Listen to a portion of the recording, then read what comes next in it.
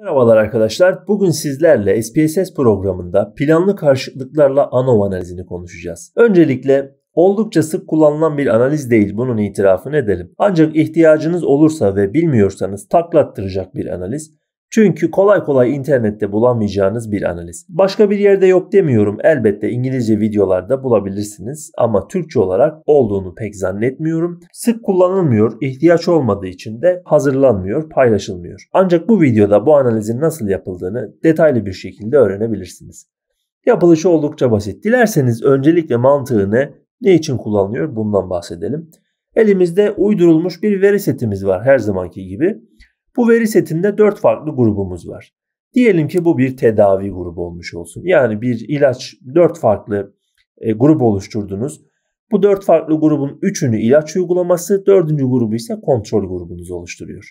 Şimdi sorduğunuz soru şöyle ise eğer şöyle bir senaryo ile karşı karşıyaysanız sizin bu testi kullanmanız gerekiyor. A, B ve C gruplarım, ilaç gruplarım yani A isimli bir ilacım var, B isimli bir başka ilacım var ve C isimli bir ilacım var.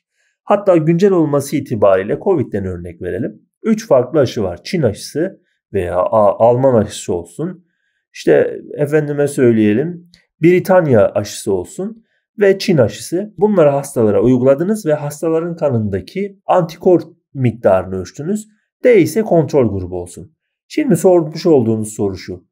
Acaba bu üç grubu birlikte kontrol grubu ile kıyaslamaya kalkarsanız yani aslında var olan bütün aşıların gerçekten kontrol grubundan hastaların antikor seviyesini anlamlı bir biçimde farklılaştırıp farklılaşmadığını soruyorsanız yapmanız gereken analiz bu. Yani planlı karşıtlıklarla ANOVA analizi. İsmi de oldukça fiyakalı.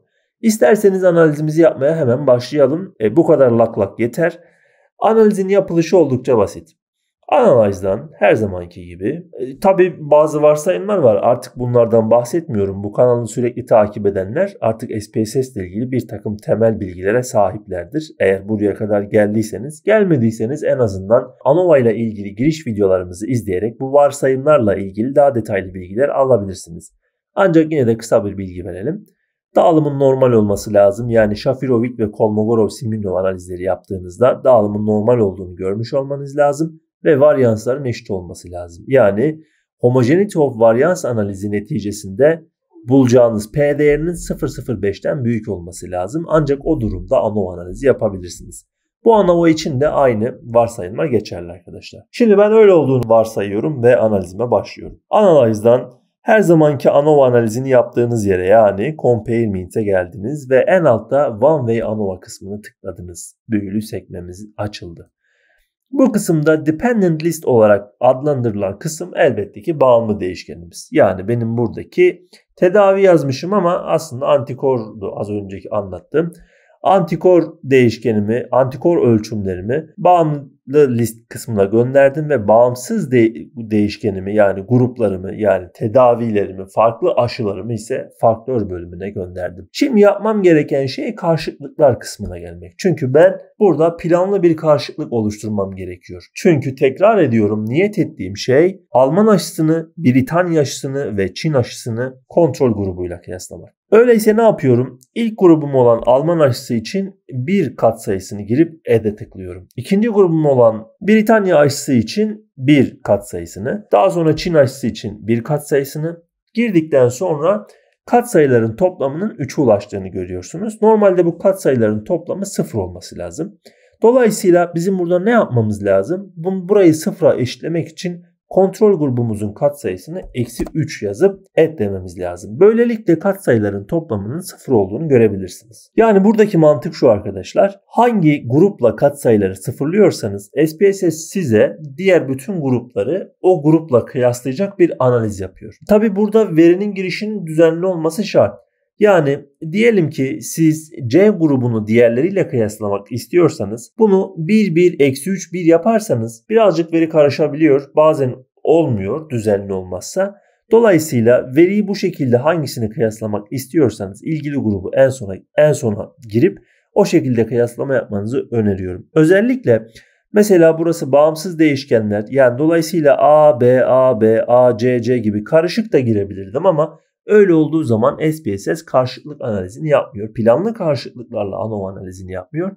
Dolayısıyla verinin düzenli girilmiş olmasına dikkat edin. Bunun yanında eğer Continue'ya tıklarsam ve analizimi yaparsam artık bana şunu yapacaktır. İlk 3 aşıyı tek bir grup olarak varsayıp kontrol grubuyla kıyaslayacaktır. Ama eğer aynısını alttan 3'ünü tek bir grup olarak toplayıp varsayıp A ile kıyaslamasını istersem burada yeni bir set de oluşturabilirim. İlk setim bir bir setim bu şekildeydi. Next'e basıp yeni bir set oluşturup buradan set sayımı arttırabilirim. Yani siz burada birden fazla karşılık analizini aynı anda yapabilirsiniz. Şimdi ben tek bir setle analizime devam etmek istiyorum. Ve tabii ki post hoc yani anlamlı çıkacağını varsaydığım için çıkması durumunda hatta dersek daha doğru olur. Burada 2K yapabilirsiniz veya benim için burada 4 farklı grubum olduğu için REGW analizi de yapabilirim ama 2K yapmam. Daha yaygın olduğu için, daha çok kullanıldığı için daha anlaşılır olacak. Continue'ya tıkladım ve son olarak Options'tan Homogeneity of Variance Test. Çünkü varsayımımın karşılanıp karşılanmadığını da görmek istiyorum. Aslında burada göstermemin sebebi sizlerin bir el alışkanlığı kazanmanız. Yani siz de testinizi yaparken hangi şartta olursa olun homogeneity of variance'a bakmanız gerektiği için burada bunu yapıyorum. Ve OK'ye tıkladığımda sonuçlarım geldi. İlk tablom varyansların homojenliği analizi. P005'ten büyük olduğu için varyanslarımın homojen olduğunu görebiliyorum. Yani bu bana şunu gösteriyor. Ben ANOVA analizini yapabilirim. Varsayımımı karşıladım. Normal olduğunu da varsaydığım için başka da karşılamam gereken bir varsayımım yok. Dolayısıyla tamam verim ANOVA analizini yapmaya uygun dedim ve ANOVA analizini yaptım. Ama dediğim gibi bu aşamaları geçmiştim zaten. Ve burada ANOVA tablosunu görüyorum. Yorulmayacağım yer. P'nin e, burada bakacağım yer significance yani P değeri. P'nin 0.05'ten büyük olması demek H1 hipotezini reddedip H0'ı kabul etmem. Demek ki bu da şu anlama geliyor. Aslında aşılarım ve kontrol grubum arasında anlamlı bir farklılık yok antikor seviyesi bakımından. Dolayısıyla bu durumda aslında postdoc testi yapmam gerekmiyor. Ben az önce yaptım ama sizlere göstermek için. Ee, ancak P005'ten büyük olduğu için bir postdoc testi yapmama gerek yok. Şimdi geldim e, videoyu çekiş sebebime yani e, karşıt katsayılara. Burada gruplarımla ilgili katsayılarımı göstermiş. A grubuma 1 demişim. B'ye 1, C'ye 1 katsayısını verip D'ye eksi 3 verdiğim için şimdi bu 3 grubu birden tek bir grup olarak varsayıp D'ye göre kıyaslama yapacak. Bana bunu bildiriyor. Burada varyansların eşitliği varsayılıyor ve varyansların eşit olmadığı varsayılıyor. Peki hangisine dikkat edeceğim? Elbette homojenlerin e, varyansların homojenite testi sonucuna bakarak. E bu testi boşuna yapmadık. Varyansların homojen olduğunu görüyorum. Dolayısıyla eşit varyanslar olduğunu varsayarak ilk satırı değerlendiriyorum. Karşıtlık değeri, standart hata, T değeri, serbestlik derecesi ve P değeri benim için önemli olan yer. P'nin 0.05'ten büyük olduğunu gördüm. Yani bu 3 grubu bu 3 aşı uygulamasının tek bir grup olarak varsayıp kontrole göre kıyasladığında anlamlı bir farklılık olmadığını görüyorum. Bu bana şöyle bir çıktı sunuyor. Demek ki piyasadaki uygulanan aşıların tamamının hiçbir etkisi yok. Hiçbir anlamlı farklılık oluşturmuyorlar kontrol grubuma göre. Şimdi görmüş olduğunuz gibi bu test aslında daha kolektif, daha komprehensif dersek veya daha kapsayıcı bir e, çıktığı bir bakış açısı sunuyor. Dolayısıyla sizin de verinizde böyle bir analize ihtiyacınız varsa yani birçok grubu bir arada değerlendirip tek bir grupla kıyaslamaya ihtiyacınız varsa bu testi güvenle kullanabilirsiniz. Dediğim gibi ihtiyacınız olduğunda eğer bilmiyorsanız gerçekten ciddi sancılar çektirtecek, takla attıracak bir test. Çünkü tekrar ediyorum yok demiyorum ama Türkçe videosu yok. İngilizce videolar mutlaka vardır. Kolay kolay bulamayacağınız bir analiz. Umuyorum testlerinizde, tezlerinizde ve makalelerinizde faydasını görürsünüz. Hemen bir alt inelim. Postdoc analizi e zaten ANOVA 005'ten büyüktü hatırlayınız. Dolayısıyla postdoc analizine ihtiyacım yoktur. Bir altta ise alt grup oluşumunun olup olmadığını bana gösteriyor. P005'ten büyük olduğu için ANOVA analizin burada gruplar arasında bir ayrışma yoktur arkadaşlar. Bunu görüyorum. Başka ne yapabilirsiniz? Grafik oluşturabilirsiniz. Hem böylelikle grafik oluşturmayı da göstermiş oluruz. Bar grafiği seçtiniz pardon. Ee, daha sonra grupları buraya ve tedavi yani skorları buraya gönderip OK'ye tıkladığınızda burada grupların ortalamalarının nasıl olduğunu görebilirsiniz. Verimiz uydurma oldu. Burada grupların ortalamalarının nasıl olduğunu görebilirsiniz. Umuyorum video sizler için faydalı olmuştur.